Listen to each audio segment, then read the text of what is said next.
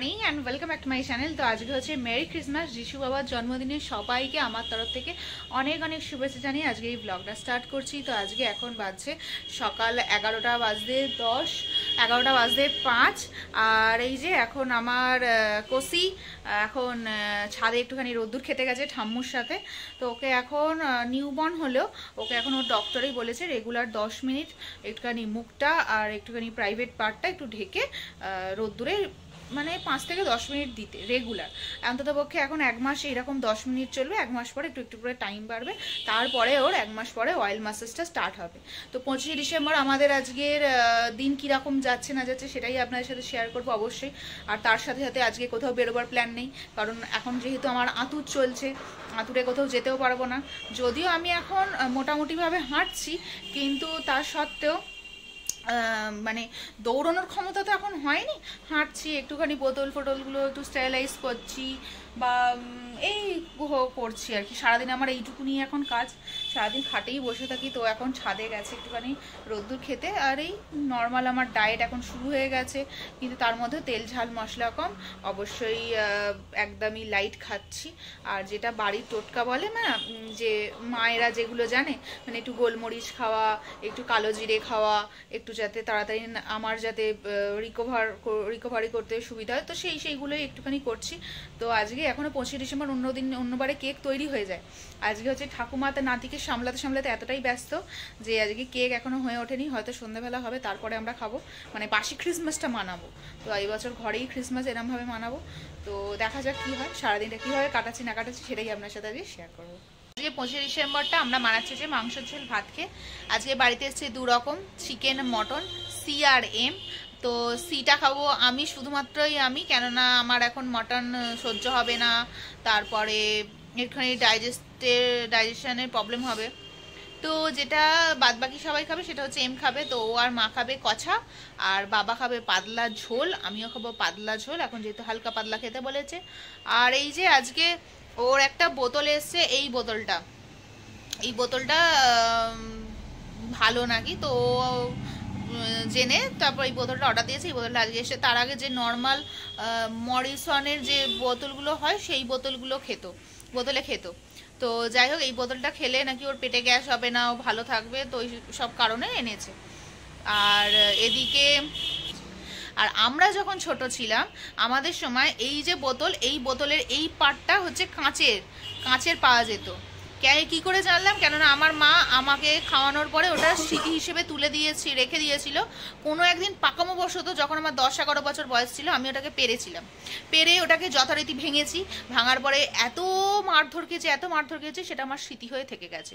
তো সেই জন্যই মনে পড়ল, আমাদের সময় এই রকম বোতল ছিল না, এরকম ছোট এই হ্যানা তেনা এইখানটা কাঁচের সেই বোতল পাওয়া যেত, সেটাই আমরা খেতাম। তো এখনকার যত যুগ যাচ্ছে, তত কিছু আমাদের সময় এত ওয়াইফসও ছিল না। ওয়াইফস দিয়ে গা মোছানো, এই করা। আমাদের সময় জল ল্যাংড়া সোজা একদম একদম পাল্লিশ মাল্লিশ করে দিত মায়েরা। সেটাই আমরা খুশি থাকতাম। এখনকার দিনের বাচ্চা আর আমার ব্যথা প্রচুর শরীরে প্রচুর শরীরে। প্রথম কদিন তো আমি ঠিকঠাক করে হাঁটতে পারছিলাম না, ছদিন। তারপরে সাত দিন থেকে মোটামুটি ঠিকঠাক করে হাঁটতে পারছি একটুখানি ঠিকঠাক করে কথা বলতে পারছি। আর আমার ঘরের, এখন আমার ঘর নেই, এখন আমার ছেলে পুরোপুরি দখল করে নিয়েছে। যেখানেই দেখব আমার ছেলের জামা কাপড় জামা বোতল দুধের কৌটো, জলের ফ্লাক্স হ্যানা তেনা সব কিছু ওরই ঘর এখন। আমার আর ওর মানে আমার আর আমার স্বামীর ঘর এখন নেই। আমার ছেলের ঘর হয়ে গেছে এটা। আর মা এখন সারাদিন এতই বিজি থাকে, সকালবেলা ছটা সময় উঠে পাঁচটার সময় উঠে সব কাজ ফাজ সেরে নিয়ে ওর কাছে বসে। ওই আটটা সাড়ে নটার দিকে চলে আসে, সেই তারপরে সারাদিন থাকে। তারপরে রাত্রির এগারোটা বেজে যায়, বারোটা বেজে যায়, এখন সবাইকার শুতে। আগে ভাবতাম সময় কি করে কাটবে, এখন ভাবি সময়টা কোথা দিয়ে চলে যাচ্ছে। পরে আরোই এরকম হবে, যখন ও একটু বড় হবে, কথা বলতে শিখবে উচ্চিংড়েমিটা করবে উচ্চিংড়েমি করবে। আমি ছোটবেলায় করেছি, আমার ছেলে করবে না। আমি প্রচণ্ড দুরন্ত ছিলাম, প্রচণ্ড দুরন্ত ছিলাম। আর পকচ পকচ করে সারাদিন বকেই যেতাম, এখনও যেটা করি।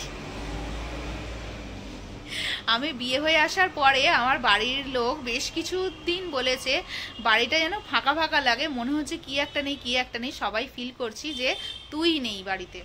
মানে আমি মানে সবাই আমার যে বাড়ি থেকে বিয়ে হয়ে চলে এসেছি, এটা সবাই বুঝতে পার পারতো। এইরকম একটা ব্যাপার ছিল। ওটা বাইরে সবাই মিলে এত গাড়ির আওয়াজ হচ্ছে আমাদের এখানে একটা চার্জ আছে। চার্জেই পঁচিশে ডিসেম্বর সবাই যায়। অন্য বছর তো আমিও যাই।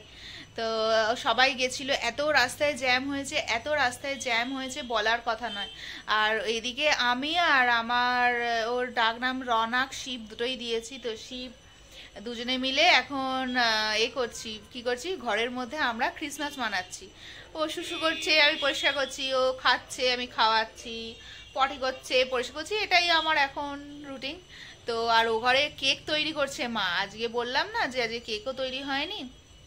যেটা ওখানে দেখাবো আপনাদেরকে, সেটুকুনি পর্যন্ত যেতে পারছি না, কারণ আতুর ঘরে এরকম নিয়ম আছে যে নাকি একা বাচ্চাকে রেখে যেতে নেই। তো একা ওকে রেখে যাচ্ছি না, কেউ একজন বসলে না যেতাম, বাড়িতে তো কেউই নেই, মা ও ঘরে কেক বানাচ্ছে, আমি ঘরে ওকে নিয়ে বসে আছি, ঠাকুরমশাই হিসাবে পুজো করতে এসছে।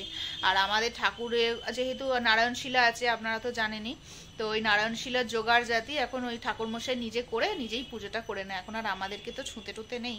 তো এখন একুশ দিন বা একত্রিশ দিন কবে একটা ষষ্ঠী পুজো আছে সেটা এখনও তারিখটা ঠিক হয়নি, আমিও ঠিকঠাক জানি না, যেদিনকে হবে সেদিনকে তো জানতেই পারব। মোড়ের মাথায় কি ভিড়? আর একটুখানি গেলেই আমাদের বাড়ির সামনে চার্জ আছে একটা, ওই জন্য আজকে এত ভিড়। আর এমনিতে পঁচিশে ডিসেম্বর সবাই ঘুরতে বেড়াতে বেরিয়েছে আর আমি পুসকুস জামাগুলো তুলে নিই। জামা বলে নাকি যে রাত্রিবেলা বাচ্চাদের জামা কাপড় বাইরে রাখতে নেই। আর নিজে নতুন মা হওয়ার পরে অনেক কিছু জানছি। মানে যেগুলো কোনোদিন শুনিনি। মানে নিয়মগুলো নতুন নতুন। আমি জানি না যে এরকম কিছু করতে হয় বা এরকম কিছু আছে বলে। তো এই রোজ যে যেটা বলছে, সেটা শুনছি, করছি, সবটাই আমার কাছে নতুন। মানে এতদিন একদিন তো মানে কিছু বছর অনেক বছর ছিলাম মেয়ে, তারপরে বেশ কিছু বছর ছিলাম বাড়ির বউ, তখন অনেক কিছু শিখেছি, অনেক কিছু জেনেছি তারপরে মা হওয়ার পর, সেইগুলো সব কিছু ফেলে সব কিছুর ঊর্ধ্বে এখন মানে সবটাই নতুন আর কি।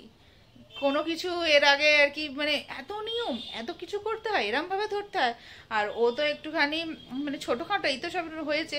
আর ও সোয়েটার ফোয়েটার পরে থাকলে তবু আমি ধরতে পারি। যখন সোয়েটার পরে না মানে হিসি টিসি করে দিলে, চেঞ্জ করাতে হয় যখন মানে ওকে কীভাবে ধরবো আমি বুঝতে পারি না। সোয়েটার পরে থাকলে একটু ফোলা ফোলা থাকে, না মানে এরকম ঘাপটে ঘুপটে ধরলাম। কিন্তু এমনিতে ধরা খুবই দুষ্কর হয়ে পড়ে। আপনাদের মধ্যে উপস্থিত আছেন সদ্যজাত শিশু, সদ্যজাত পিতা, যে বহু দিন ধরে মানে ঘুম হয়নি বলে সে যেন হামাগুড়ি দিচ্ছে বিছানায়। সবসময় বিছানাতেই এখন হামাগুড়ি দেয়। বাচ্চা হামাগুড়ি দিচ্ছে, বাচ্চা বাবা হামাগুড়ি দিচ্ছে। কেসা লাগা? নে পাপা বনকে